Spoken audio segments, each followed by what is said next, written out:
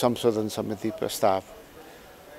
त्यस सम्बन्धमा वकिलहरू कानुन व्यवसायीहरू र उद्योग व्यवसायीहरू यो उद्योग व्यवसायीहरूको पनि सरोकारको विषय भयो किनभने लगानी सहजीकरण सम्बन्धी ऐनमा संशोधन विधेयक संसदमा प्रस्तुत भएको छ। यद्यपि यो लगानी सहजीकरण म नै अर्थमन्त्री हुँदा यो लगानीलाई नेपालमा लगानी गर्न धेरै कानुनी अप्ठ्याराहरू छन् व्यवधानहरू छन् भनेर त्यस बेलामा निजी क्षेत्रहरूलाई पनि संलग्न गराएर एउटा कार्यदल नै बनाएर कहाँ कहाँ यो ऐन कानुन बाधाको रूपमा रहेका छन् त्यसमा सुझाव दिनुहोस् भनेर लामो त्यहाँ छलफल पनि भयो कमिटी पनि बनायो उहाँहरूले चाहिँ सुझावहरू पनि दिनुभयो र यो यो सुधार गर्ने भनेर निजी क्षेत्रको समेत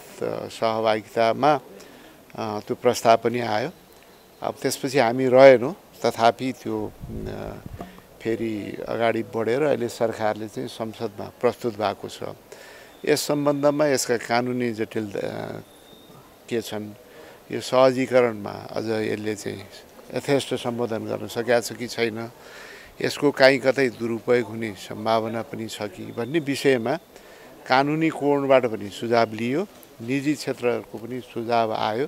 लगानीमा अझ ज्यादा सहजीकरण हुनुपर्छ सहज हुनुपर्छ लगानीको वातावरण सुनिश्चित गर्नुपर्छ तर सँगसँगै यसको दुरुपयोग पनि हुनु हुँदैन भन्ने कुरामा हामी गम्भीर छौँ।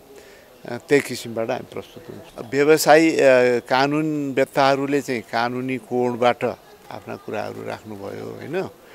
अब व्यव उद्योग व्यवसायीहरूले यो जुन प्रस्ताव छ सहजीकरण सम्बन्धी प्रस्ताव छ यसमै यो पनि धेरै सहजीकरण गर्ने हिसाबले आएको छैन। अझ सहज गरिनुपर्छ।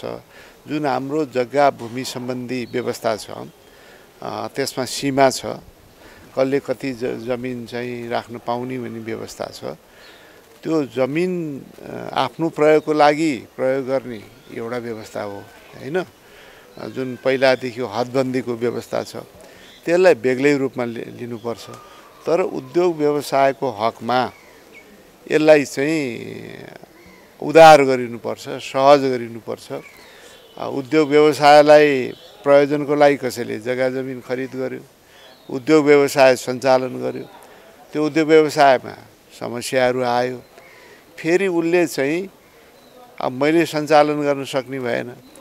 भन्ने अवस्था उसले आफै लगानी गरेर चाहिँ किन्या छ। कुनै चाहिँ बाबुबाजेबाट आएको जमिन होइन। हदबन्दीभित्रको भन्दा बाएको जमिन पनि होइन। तर आफैले किन्या छ भने अब त्यो उद्योग व्यवसायमा समस्या आयो आउँछ कतिपय अवस्थामा। त्यो बेला उसले चाहिँ किन वेतन नपाउने? या अर्को उद्योग व्यवसाय गर्न चाहनेलाई बेच्न या अरू हिसाबले बेच्न किन नपाउने? नत्र उसले चाहिँ कसरी चाहिँ उद्योग व्यवसायमा भोलि चाहिँ ब्याङ्कको ऋण तिर्नु पऱ्यो अरू समस्या आयो कसरी समाधान हुन्छ?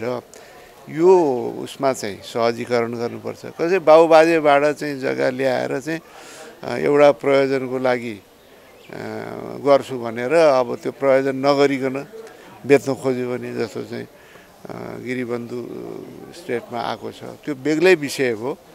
तर आम उद्योग व्यवसायीलाई सहजीकरण गर्ने सम्बन्धमा चाहिँ अझ उदार हुनुपर्छ भन्ने चाहिँ उद्योग व्यवसायी साथीहरूको चाहिँ धारणा थियो।